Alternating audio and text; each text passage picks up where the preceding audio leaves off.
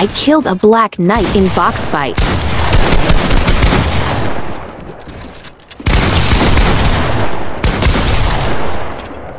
I got so lucky.